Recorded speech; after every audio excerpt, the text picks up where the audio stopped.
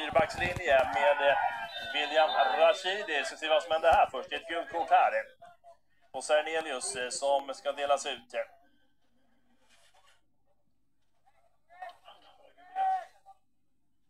Ja, det där är också en ganska tuff satsning.